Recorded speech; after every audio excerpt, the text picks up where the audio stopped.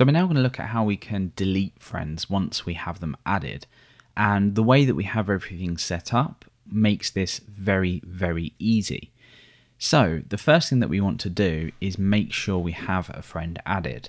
At the moment, I'm signed in as myself and I'm friends with Billy. So let's get going. The first thing that we're going to do is we are going to place a button under, the, under this just to say delete friend or delete or whatever you want it to say. So under your views, we want to go under profile and index. That's where down here we said, uh, well, we have all this logic to determine what kind of state we're in. And this part here is you and the other user are friends.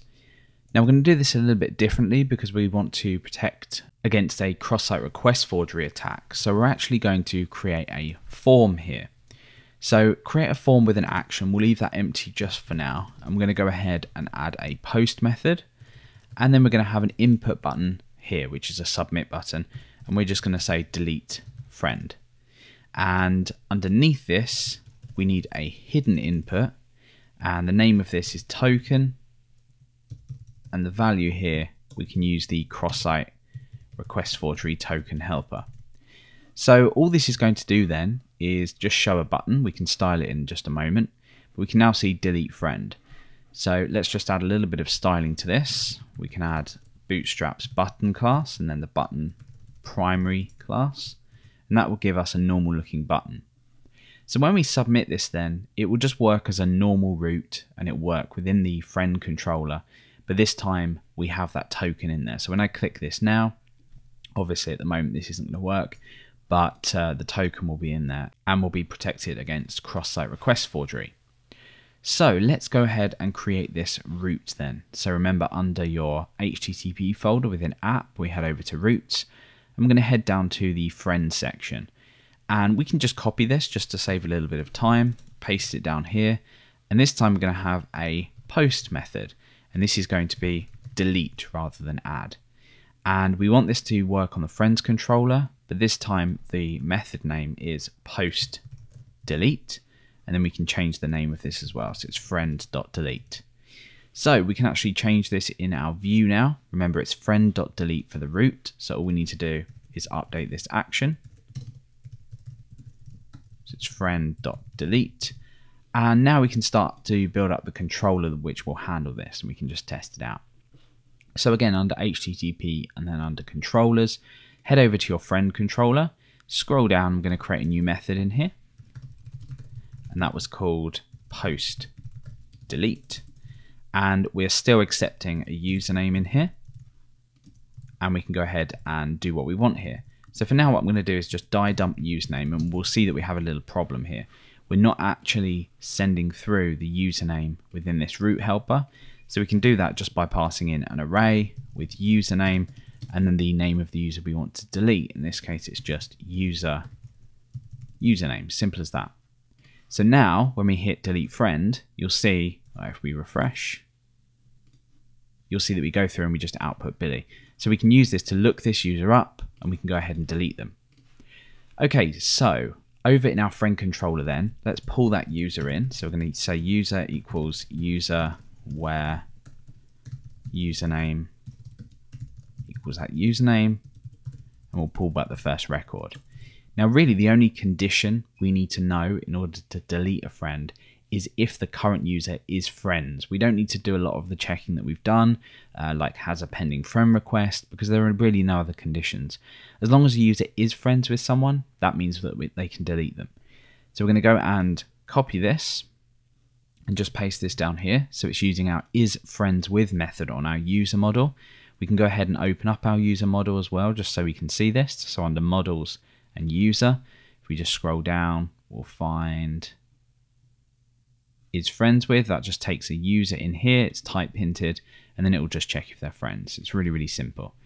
So if they are not friends with, we're just going to assume that they're doing something a little bit wrong. So we're just going to redirect the user back. And now we can go ahead and delete that friend. But we don't have an easy way to do this just yet. And we're going to make that easy by adding it in our user model. So remember when we did add friend, we have this relationship here between uh, fr between friends, and what we can do is we can attach on our friend of uh, relationship. So this is a belongs to many relationship. So we can attach a record by ID, and what that does is it creates this record. What we can also do though is we can detach this. So if we say public function delete friends, we'll create a new method in here. It's pretty much exactly the same thing. We type in the, mo uh, the model being passed through, and then we just do exactly the same as we do here. So we say this friend of, but we say detach. And then we pass in that user's ID. So now we can use this method here within our controller. So all we do is say auth user delete friend. We pass in that user model and then we can redirect the user. So we'll just say return, redirect, back, and then we'll give some information. So say friend deleted. So that's pretty much it. We should be ready to go now. Let's go ahead and test this out. So remember, I'm currently friends with Billy in here. It's been accepted.